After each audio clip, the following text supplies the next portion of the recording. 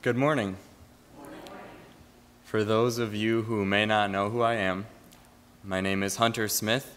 I am a student studying to be a pastor at Wisconsin Lutheran Seminary, and it is my privilege to lead you in worship this morning. We'll begin our worship by singing our opening hymn, hymn 916.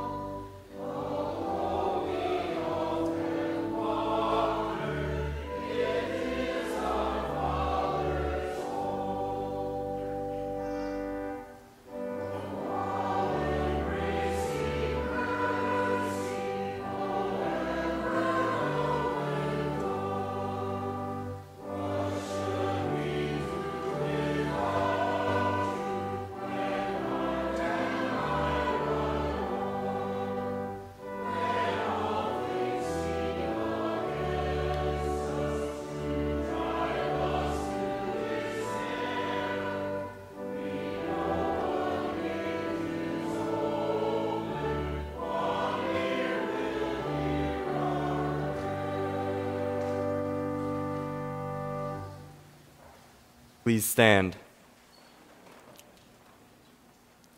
In the name of the Father, and of the Son, and of the Holy Spirit.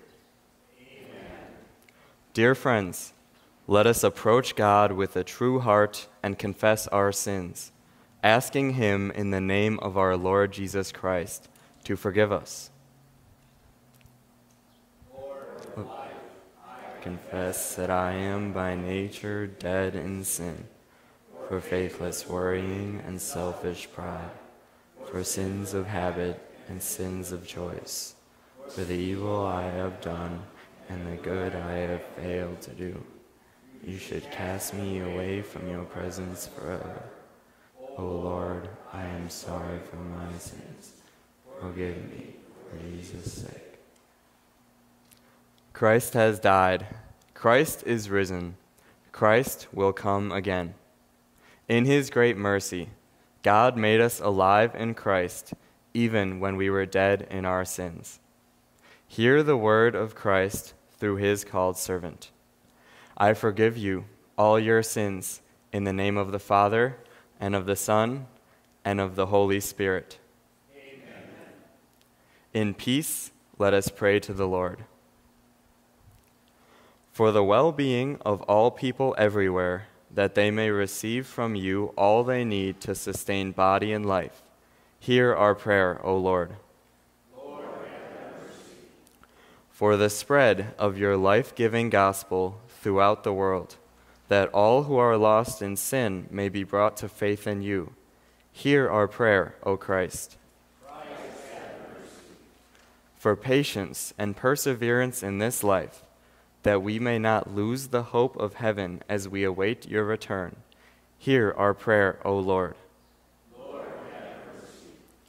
Lord of life, live in us that we may live for you.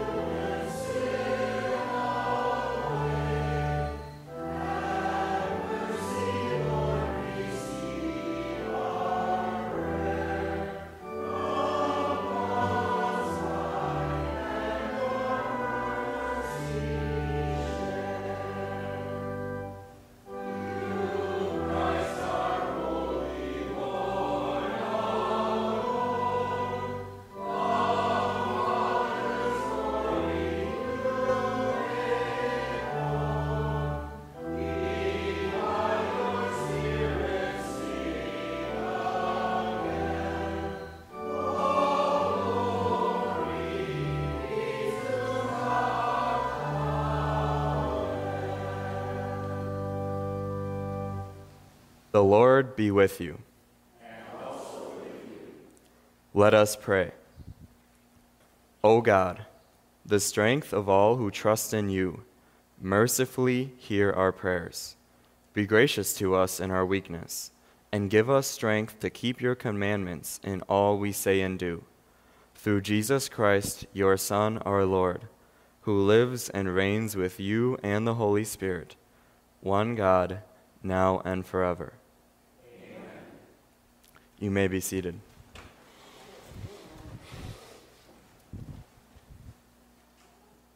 Our first reading for this morning comes from the book of Exodus, chapter 33, verses 12 through 23. Moses said to the Lord, You have been telling me, lead these people, but you have not let me know whom you will send with me. You have said, I know you by name, and you have found favor with me. If you are pleased with me, teach me your ways, so I may know you and continue to find favor with you. Remember that this nation is your people. The Lord replied, My presence will go with you, and I will give you rest. Then Moses said to him, If your presence does not go with us, do not send us up from here. How will anyone know that you are pleased with me and with your people unless you go with us? What else will distinguish me and your people from all the other people on the face of the earth? And the Lord said to Moses, I will do the very thing you have asked, because I am pleased with you and I know you by name. And Moses said, Now show me your glory. And the Lord said, I will cause all my goodness to pass in front of you, and I will proclaim my name, the Lord, in your presence. I will have mercy on whom I will have mercy, and I will have compassion on whom I will have compassion. But, he said, you cannot see my face, for no one may see me and live. Then the Lord said, There is a place near me where you may stand on a rock. When my glory passes by, I will put you in a cleft in the rock and cover you with my hand until I have passed by. Then I will remove my hand, and you will see my back, but my face must not be seen. This is the word of our God. Amen. Amen. Our second reading for this morning comes from the letter to the Romans, chapter 7, verses 15 through the first half of verse 25. I do not understand what I do, for what I want to do, I do not do. But what I hate, I do. And if I do what I do not want to do, I agree that the law is good. As it is, it is no longer I myself who do it, but it is sin living in me. I know that nothing good lives in me, that is, in my sinful nature. For I have the desire to do what is good, but I cannot carry it out. For what I do is not the good I want to do. No, the evil I do not want to do. This I keep on doing. Now if I do what I do not want to do, it is no longer I who do it, but it is the sin living in me that does it. So I find this law at work. When I want to do good, evil is right there with me. For in my inner being I delight in God's law. But I see another law at work in the members of my body, waging war against the law of my mind and making me a prisoner of the law of sin at work within my members. What a wretched man I am! Who will rescue me from this body of death? Thanks be to God, through Jesus Christ our Lord. This is the word of our God. Amen. Amen. We'll continue by singing the hymn of the day, hymn 555.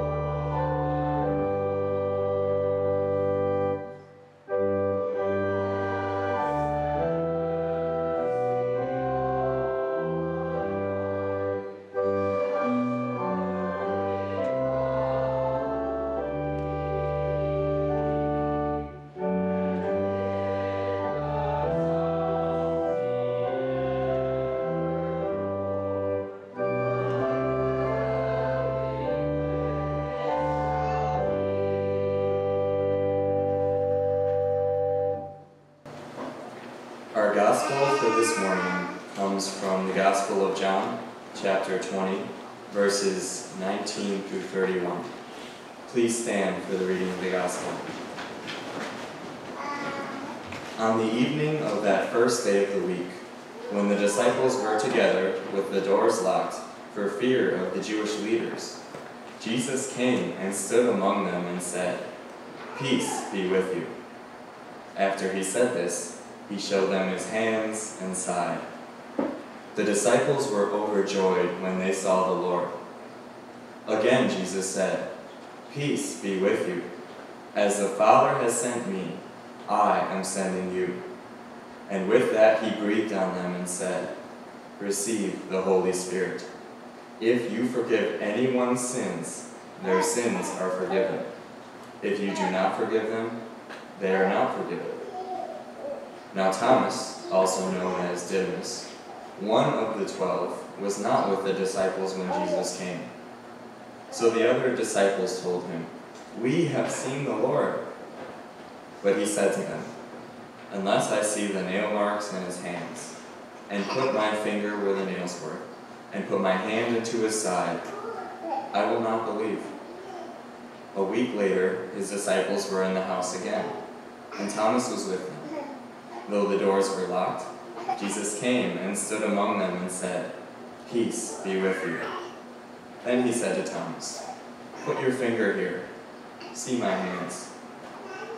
Reach out your hand and put it into my side. Stop doubting and believe. Thomas said to him, My Lord and my God. Then Jesus told him, Because you have seen me, you have believed. Blessed are those who have not seen and yet have believed.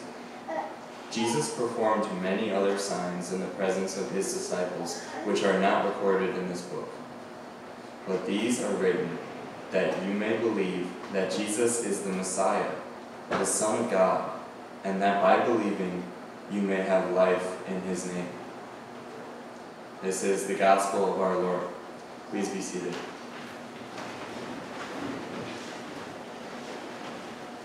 What more do you need, Thomas? Is that what you think? Do you think that Thomas was being unreasonable by demanding that Jesus prove to him he had indeed risen from the dead? Or maybe do you think that Thomas and the other disciples had every reason to believe that a dead man would stay dead? Every reason to think that they were completely surrounded by their enemies, who wanted to hurt them just as violently as they had Jesus, their leader. Well, regardless of what we think about this incident, Thomas and the other disciples doubted some paramount promises of God, just as you and I sometimes do. But Jesus proved that he is indeed alive. And the proof of that has been written down right here for us to know and believe in it, even without seeing Jesus for ourselves. But before Jesus appeared to those disciples, we find them cowering behind locked doors, afraid, as if the Almighty God isn't strong enough to shield them from their enemies. And they weren't just diminishing God's protection by holding up in that room, but they were completely dismissing Jesus' own promise to them that he would rise again from the dead. They should have been camped right outside the tomb with a fresh change of clothes, maybe some food, eagerly awaiting the moment that their Savior would walk right out to them. But instead, they locked down. And then the Gospel of Luke tells us that even when Jesus miraculously appeared in that room with them, they thought it was a ghost until Jesus proved to them that he was real. And then these same disciples, they guaranteed their dear friend Thomas that the living, breathing Jesus had kept his promise. Obviously, just as God keeps all of his promises. But Thomas felt that raising Jesus from the dead was too much for God to accomplish. The disciples assured Thomas that their own eyes had seen the risen Lord. But Thomas called his friends, called his Savior, liars. For Thomas, God's word, God's promises, they weren't enough. Thomas demanded the evidence that he wanted wounds that he could see, that he could feel with his own hands, or else he wouldn't believe. Isn't it also so easy for us to doubt the promises of God when we can't stare right at them with our eyes, when we can't grab them in our hands? God guarantees you that He is going to see to your every need but do you always believe that? At least until you can feel the weight of the groceries in your cart or see those numbers in your bank account. And God promises me that He hears me. Whenever I beg to Him to help me, to help someone that I care deeply about. But do I sometimes convince myself that God must be deaf? unless he does exactly what I want, when I want it, in the way I wanted it to happen. And how often, even though we have God's promise that his church is going to endure until Christ returns again, how often do we panic about the future of that church? That panic only being quelled by seeing another baby get baptized or shaking the hand of a new person at our congregation. It is incredibly easy to doubt the promises of God when we can't see them when we can't feel them. And doubt poisons us so deeply that it's not just God's promises that we doubt, but it's the entirety of His Word sometimes. God has taken ownership of Scripture He's guaranteed you that every bit of it is from Him.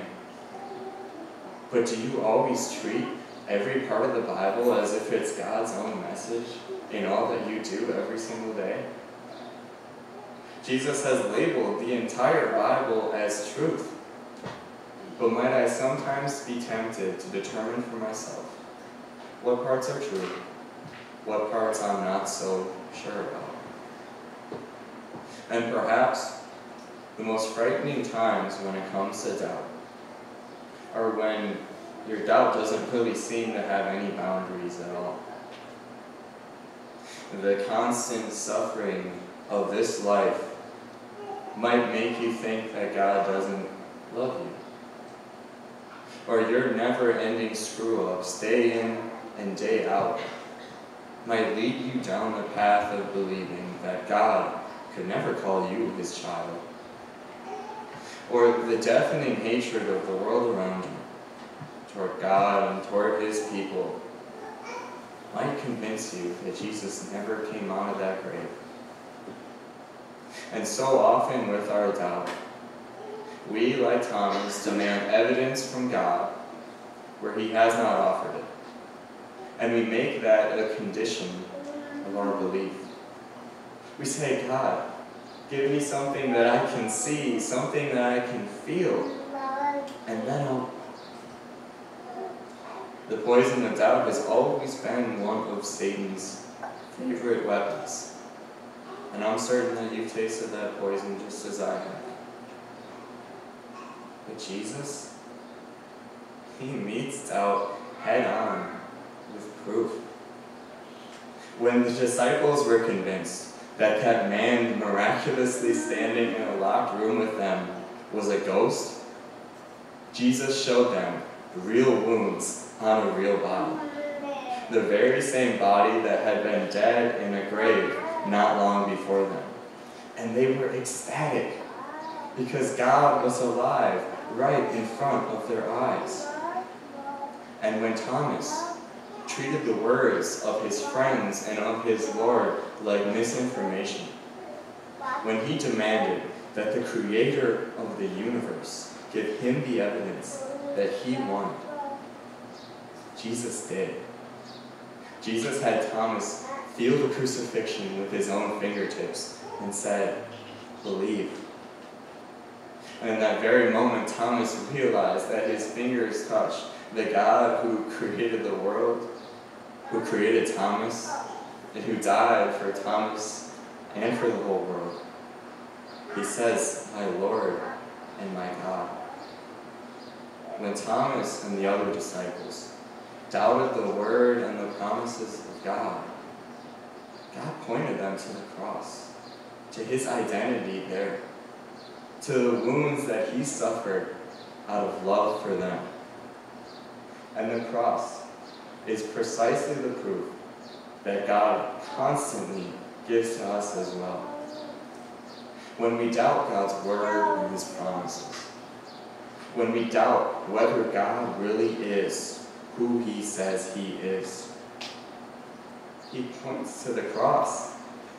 The whole Bible points to that cross, to who he is.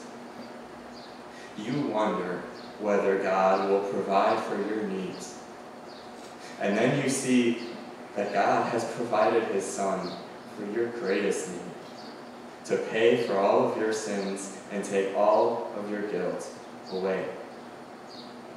And I question whether God hears me when I'm broken, when the people around me are broken.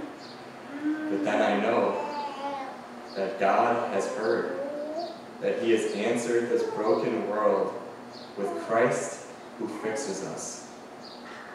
And no matter how many times we may think that the church is on its deathbed, and we're watching it take its final breaths right in front of our eyes, Jesus, who is the foundation of that same church, has risen from the dead and defeated Satan and everything else that fights against that church.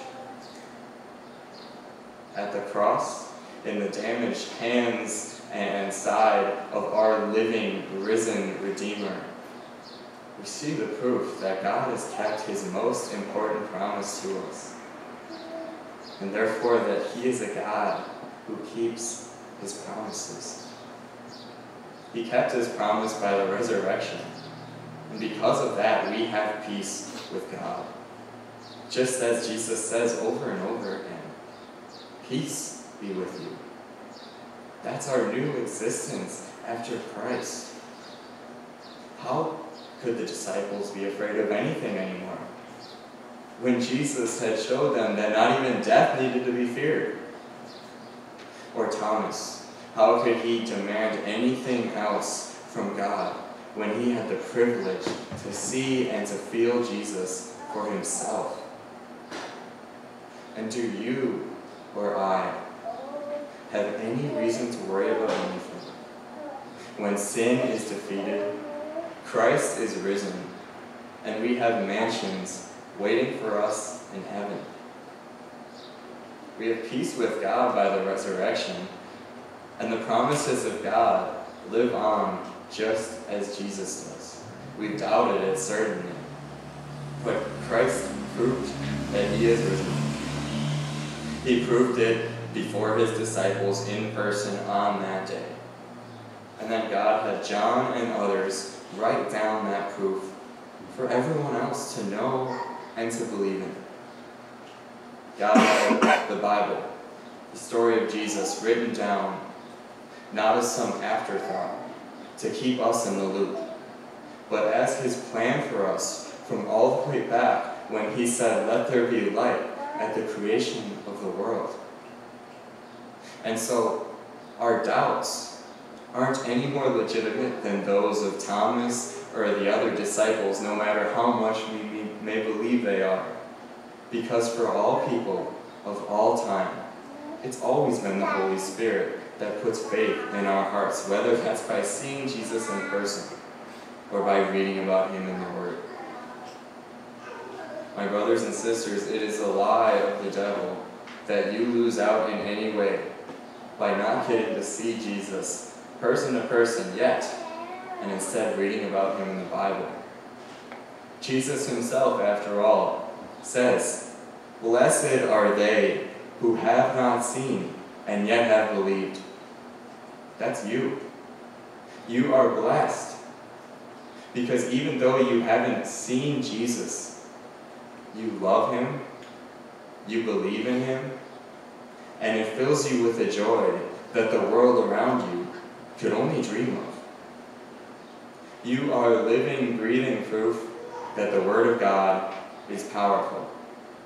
So powerful that it's convinced you that Jesus came to live a perfect life in your place, that He died on the cross for all of your sins, and that He rose from the dead in victory over death.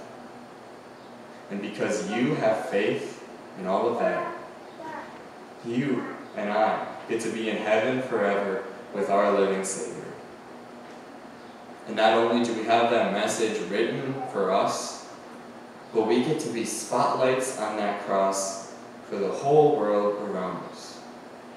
We get to share the story of Jesus with every other person who so desperately needs it. And we have the privilege of meeting people who are shattered in their sin and giving to them the forgiveness of Christ. The beautiful forgiveness that pieces us back together again every time we're demolished by our own sin.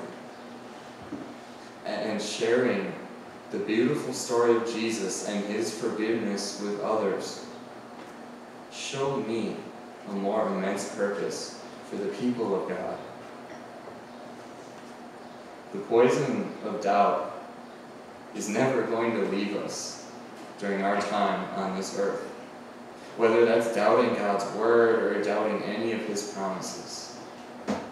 But in the resurrection and at the cross, we see proof that God is who he says he is.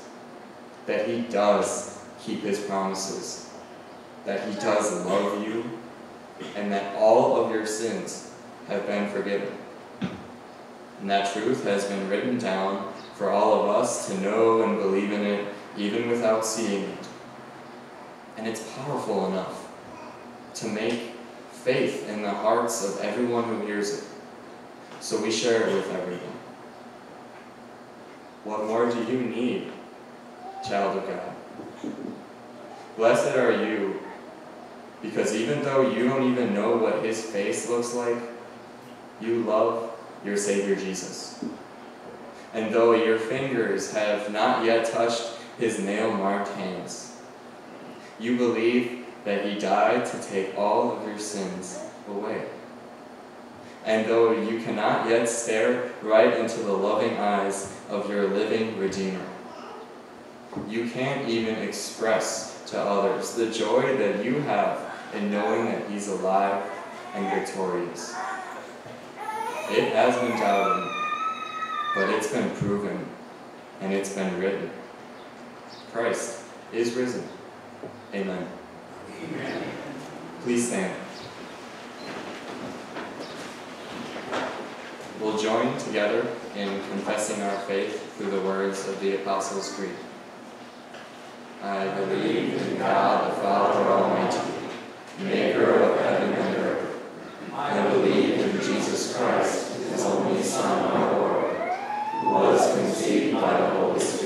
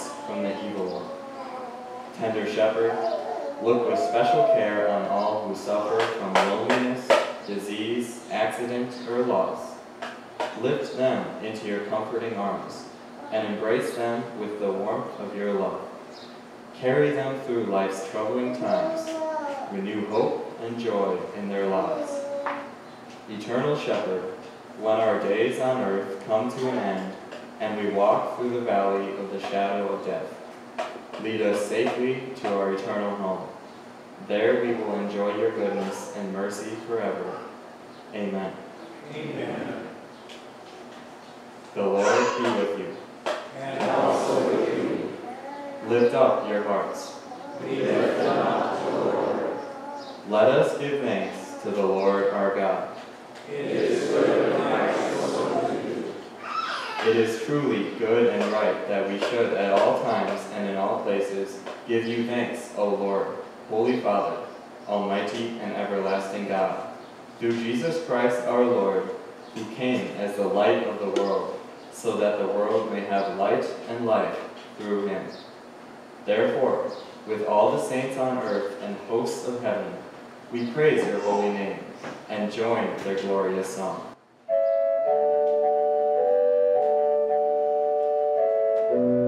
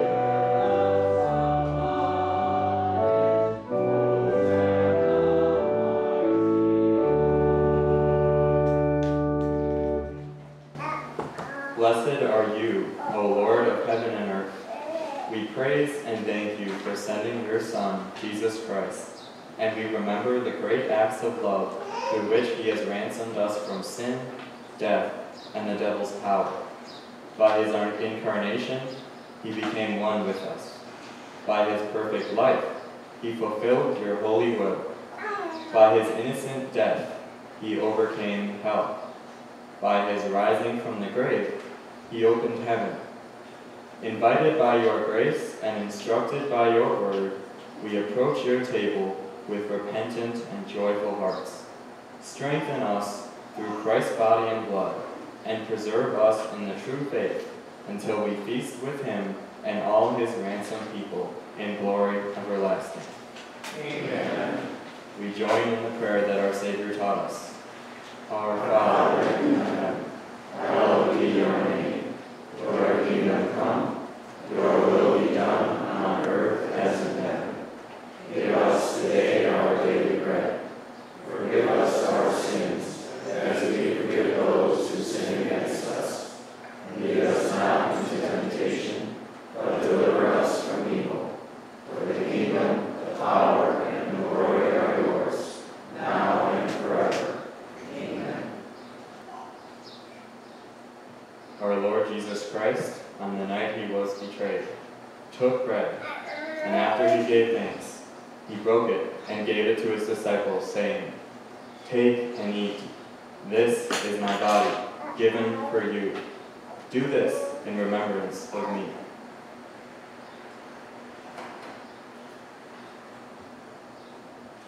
He then took the cup, gave thanks, and gave it all of them, saying, Drink from it, all of you. This is my blood of the new covenant, which is poured out for you for the forgiveness of all sins. Do this whenever you drink it, in remembrance of me. The peace of the Lord be with you always. Amen.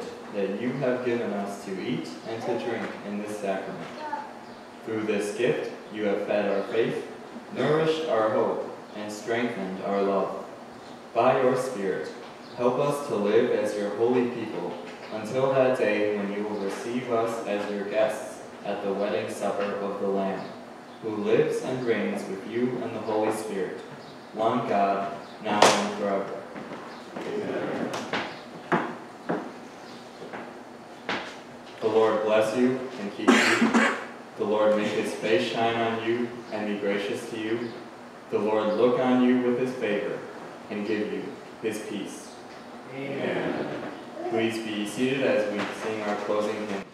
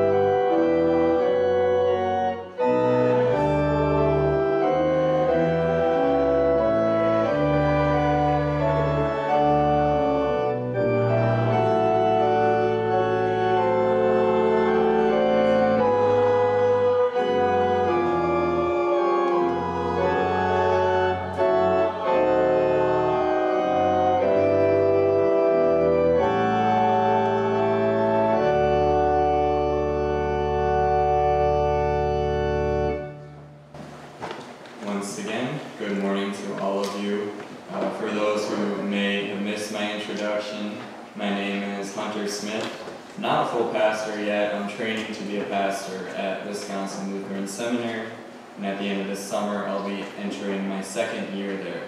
Uh, but it has been a privilege to lead all of you in worship. I'm thankful to have all of you here today, um, and I hope that you will have a blessed week in the Lord.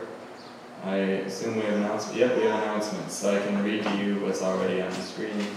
Uh, July 10th, Knitted Together and Council of Elders meeting. Women's Morning Ministry, 8:30, July 15th. Communicator deadline, get everything in for that. Uh, 8 a.m. July 16th. Otherwise, I'll be there to greet you at the door, and I hope you have a wonderful rest of your day and week.